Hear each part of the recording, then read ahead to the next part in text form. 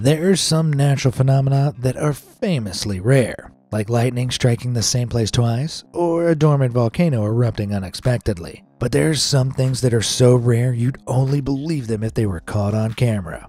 Like waterfalls flowing upwards, eyes stretching like jelly, or clouds wearing rainbows like hats. Intrigued? Well, get ready because we're about to take a look at some one in a billion moments in nature captured on camera.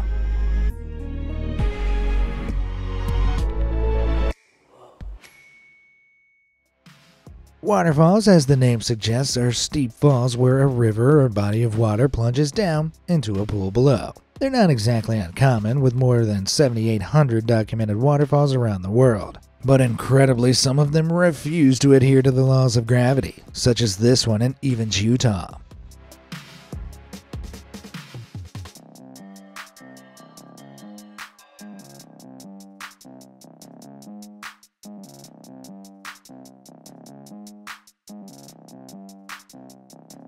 Whoa, the water is flowing backwards instead of over the edge. It looks like some sort of magic, but actually, this small stream simply couldn't compete against the 60 mile per hour winds whipping through the area, which were so powerful they blew the water back up the way it came. Talk about turning the laws of nature on their head. And speaking of waterfalls, have a look at this phenomenon that occurred at Yosemite Valley, California back in 2019.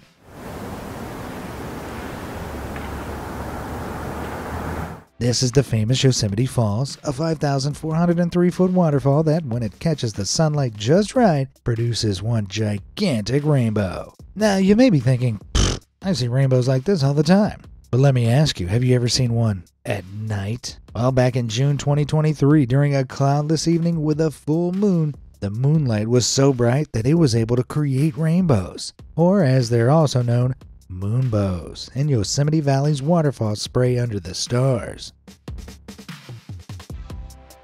Whoa, but how? Well, rainbows are formed when light is scattered by water droplets through a process called refraction. But it doesn't have to be sunlight, it can be any source of bright light, moonlight included. Whoa, starlight, moonlight, waterfalls, rainbows, and moonbows. If it weren't for the footage, I'd say this place was too magical to be real. Now, waterfalls like this are pretty stunning. But have you ever heard of a cloudfall?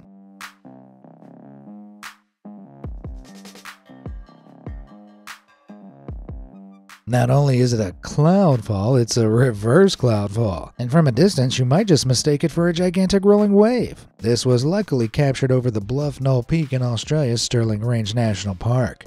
Visible falls like this develop during clear weather immediately following heavy rain or snow, which moistens the lower atmosphere. The clear skies allow the air to cool until this moist air is saturated, forming a sea of clouds. As more dense air builds up, it eventually spills over the mountain edge or is swept over by a gust of wind, making the cloud sea appear to climb up the mountain instead. No matter the direction, it's spellbinding either way.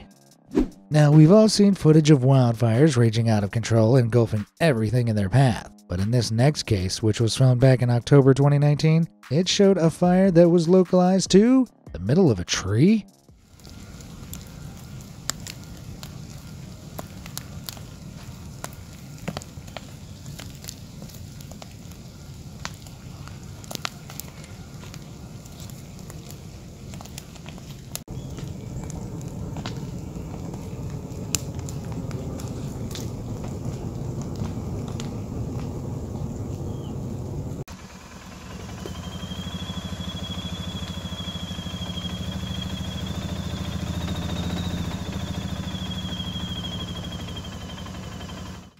How is this even possible? Well, it appears that a bolt of lightning struck this particular tree located out in Texas.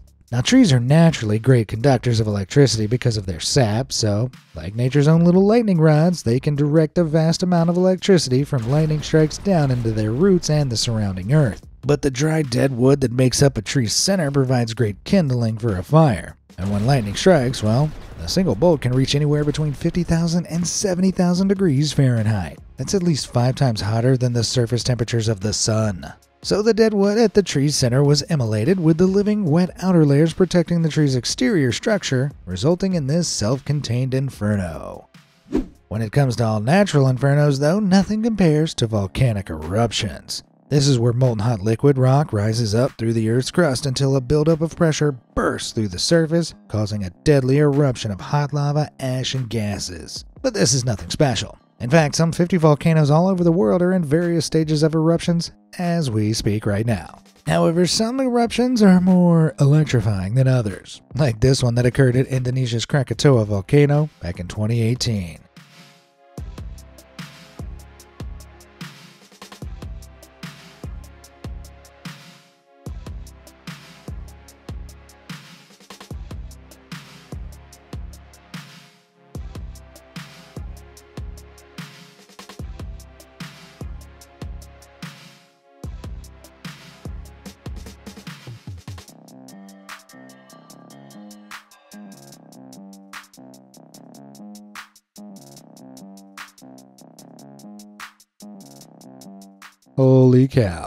That's a lightning storm inside a volcanic ash plume. How does that even work? Well, volcanic lightning arises from colliding fragmenting particles of volcanic ash and sometimes ice, which generates static electricity within the volcanic plume, and in turn, lightning. Because some of these plumes can reach as high as 34 miles into the atmosphere, the taller the plume, the more particles there are, giving it a greater chance of producing lightning. But seeing as plumes that tall are theoretical, with most plumes reaching a top height of 28 miles, volcanic lightning is still a super rare occurrence.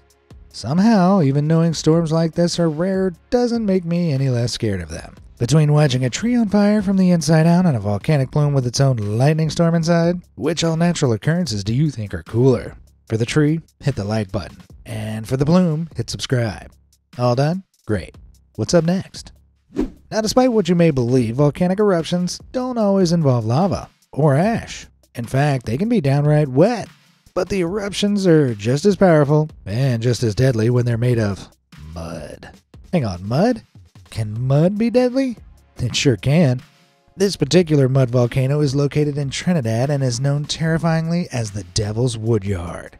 It first blew its top all the way back in 1852 and is still active to this day. The sheer force of the explosion knocked the entire village off its feet and cut down the trees. Similar low key eruptions have occurred in the following years, but in 2018 it became violently active again, spilling out molten hot mud some 1500 degrees Fahrenheit over 150 feet in every direction from the center.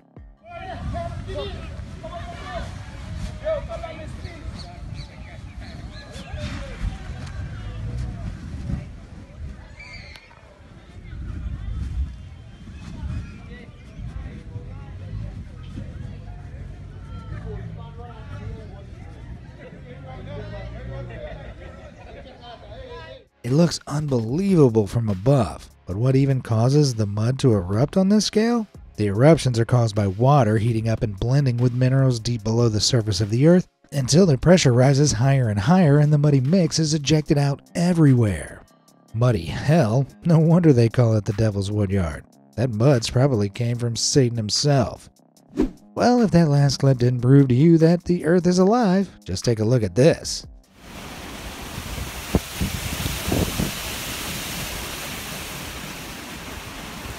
The ground is breathing?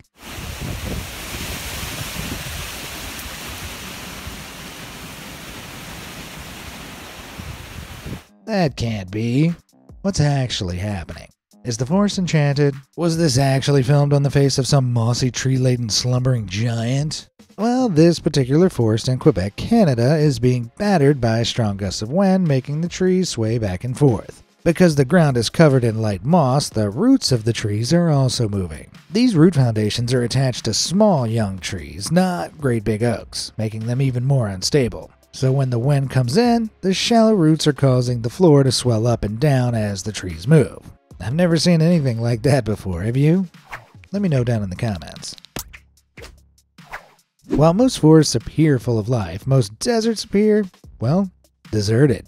But if you trek on down to the Atacama Desert spanning over Chile and verging into Argentina, Bolivia, and Peru, you might find something that makes the place feel magically alive. Wait, sorry, that must be the wrong clip. That looks like a field of icicles. Let me try that again.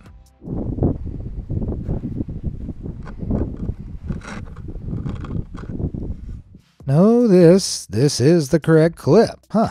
These icy spikes are called penitentes and range in length from a few centimeters to over 16 feet tall.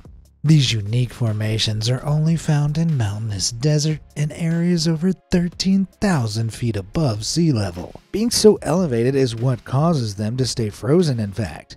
At night, without the warmth of the sun, the temperature here plummets, reaching lows of a freezing 28 degrees Fahrenheit during the winter months. Combine that with moisture in the atmosphere, and these parts of the desert can experience snowfall. But when indents in the snow absorb sunlight and the high solar radiation heats the snow in a dry atmosphere, the snow can forego transitioning into a liquid state and vaporizes straight into steam, a process called sublimation. When this happens, the spaces between the snow starts to thin and hollow out, leaving individual spikes of compacted ice still standing. Man, who knew a natural phenomenon could be so cool? Continuing this icy theme, let's turn our focus away from the desert and over to Maine, where something weird happens in the water. It doesn't feel natural seeing a perfectly circular sheet of ice endlessly rotating in the exact same spot, and yet this was all down to a perfect set of ice cold coincidences. These are ice circles. They can range from less than a foot in diameter to upwards of 300 feet. Their apparent never ending movement is caused by flowing water, creating a force called rotational shear. See how this one spins? In the beginning, the force of the flowing water breaks off a chunk of ice and then, in the current, twists it around. As the disk rotates, it grinds against all the surrounding ice. When it does this, it becomes a smaller, smooth circle. Who knew something so simple could be so mesmerizing? Now in Oregon, USA, a woman walked into her garden and found her pool filled with ice. Considering parts of Oregon can get as cold as negative 54 degrees Fahrenheit, that seems pretty normal, right? Only when she touched it, it didn't behave or feel like ice at all. In fact, it stretched when she pulled her hand through it.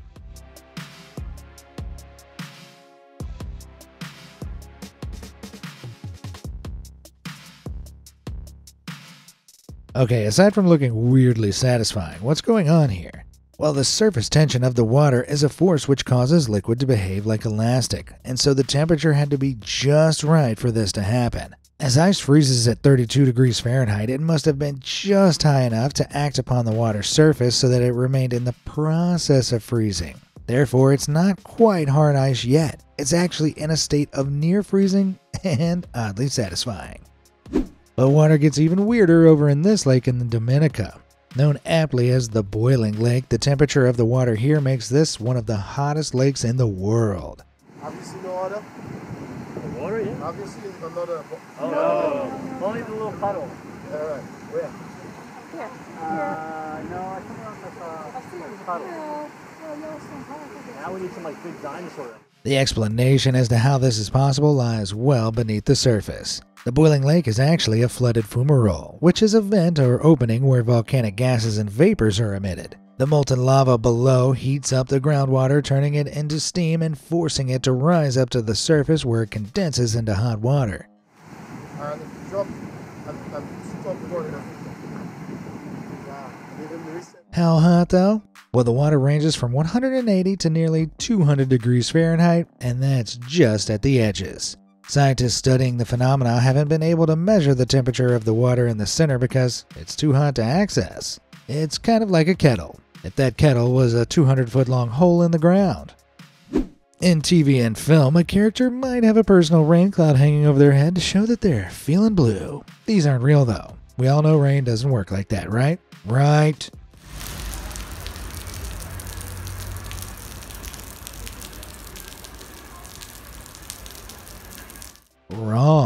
This real life phenomenon is known as ultra localized rainfall, where a small shaft of precipitation falls in a very specific area. This event is incredibly rare because rain clouds generally stretch dozens to hundreds of miles, so the temperature fluctuations required to induce rainfall tend to affect the entire cloud rather than just one small part of it. But it can happen, like it did here in an Indonesian parking lot back in 2021. Saudara-saudara, ini hujan di mobil ini doang ini lihat nih, yang lain kagak nih. Nih, yang lain ada yang hujan. Ini di mobil ini doang nih. Tuh. Masya Allah. Masya Allah. Di sini doang nih hujan nih. Ini di sini doang hujan lihat. Nih. Does that make this car a Range Rover? There's nothing more relaxing than dipping your toes in the waves, but there's something about these waves that's a little eerie.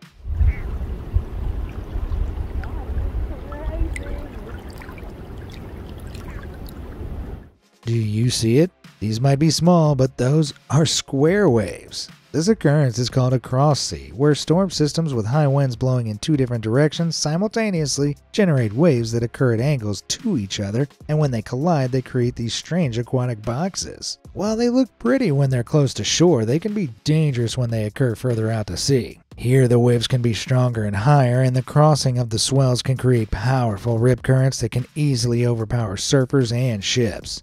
So if you see a set of square waves heading your way, I'd get out of the water if I were you.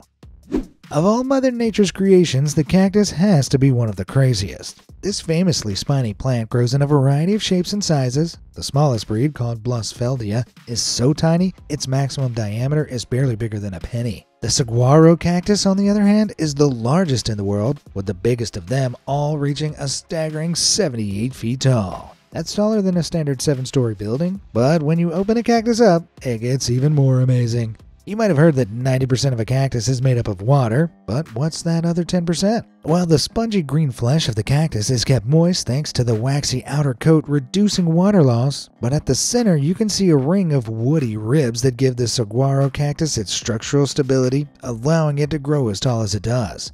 And boy does it need it. Because at their biggest, the water stored in these things can mean a fully hydrated cactus can weigh upwards of 4,800 pounds. So if you see one of these things about to fall, I'd move over. Well over. During the day, the top of the Kawah Ijen volcano in Java, Indonesia looks like any other volcano crater. But at night, something otherworldly happens. At the mountain's summit, which reaches over 9,000 feet high, the peak is crowned with wreaths of bright blue and purple flames. Although it looks like blue lava is erupting from the peak, what's really going on is even more incredible. This volcano naturally produces some of the highest levels of sulfur gas in the world. As these escape from cracks and vents in the volcano sides, they come into contact with oxygen in the atmosphere and are set alight by the molten hot lava. Unlike most fuels, sulfur burns blue and at a low temperature, creating these incredible sights.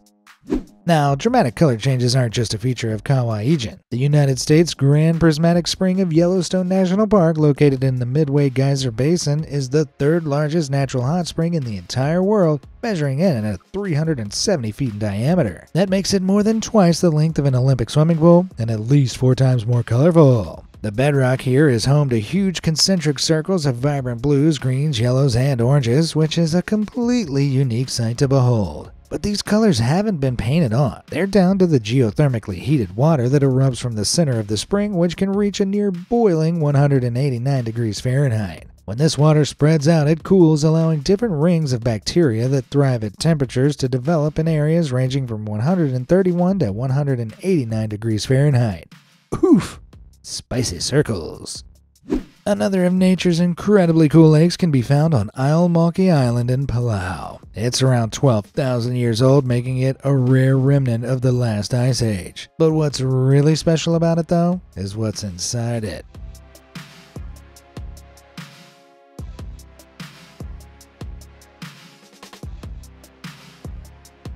Millions of golden jellyfish have made the lake their home, and they're completely unique because this is the only place on Earth where you can find this particular species. But how did they get here? Well, sometime during the last ice age, as glaciers melted and sea levels rose, the Miocene reef this place was once part of was flooded, and what became Jellyfish Lake was cut off from the rest of the world. Without any natural predators, the jellyfish multiplied in their millions over generations. A genetic mutation that occurred several thousand years back also means that all the jellyfish are completely stingless, so tourists can snorkel with them without fear of being stung. Man, all that footage looks like something out of a dream. A little further afield, though, there's an underwater phenomenon that looks more like something out of my worst nightmare.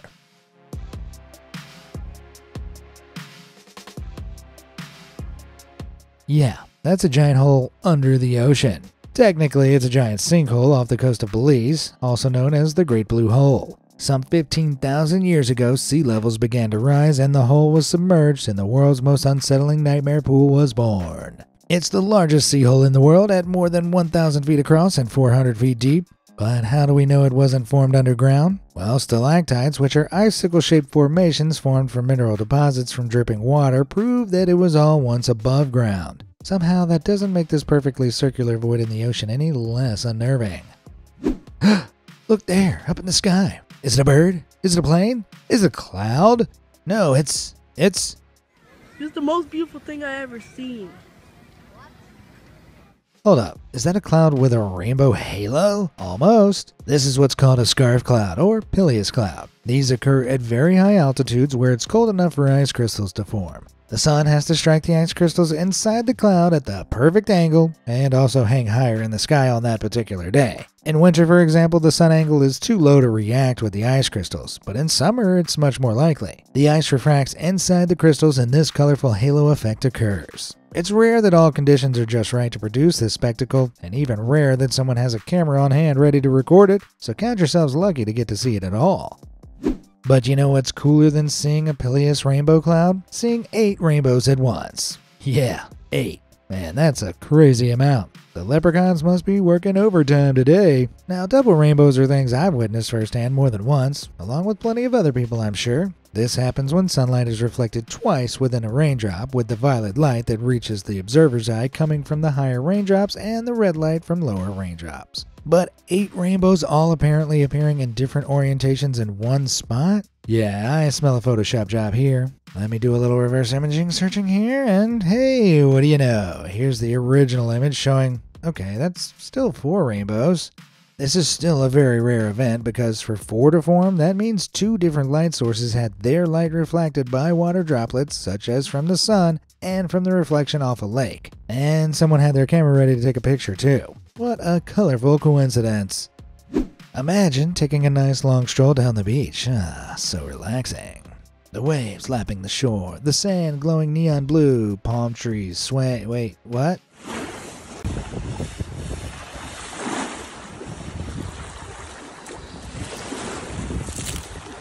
And it's not just the sand, the water is glowing blue too.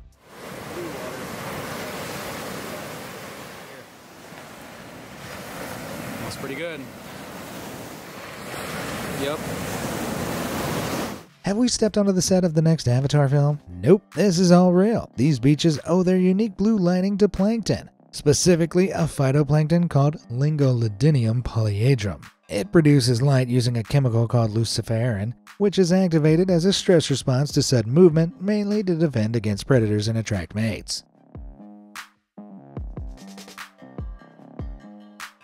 So, what you're really looking at is algae washed up on the shore and floating in the sea, producing this bright blue glow when you touch it. Anyone else tempted to get in the water and splash around pretending you're magic and that you're a wizard casting spells? No? I mean, yeah, no, me neither. oh, yeah.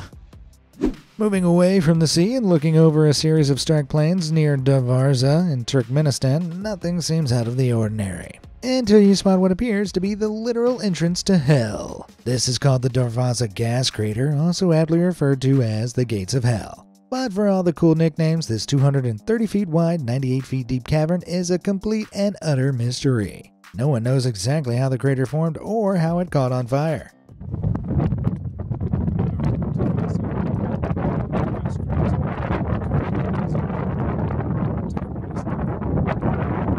We don't even know how long it's actually been burning for. It could be years. It could be decades. Wait, decades? How does it even have enough fuel to have been burning for decades? That's because the cavern is situated in a natural gas field. These areas of gas leach from pockets of natural gas underground, which are usually extracted to sell commercially. But how did this section collapse into itself and become a crater? Nobody really knows. Some theories speculate it was caused by a drilling accident back in the 1970s. Others claim it was set alight to prevent a buildup of toxic gases, and the steady stream of gases kept the entire crater burning ever since. Whatever its cause, this is one natural phenomena I'm happy to view through a screen instead of visiting myself. I don't want to meet the devil just yet.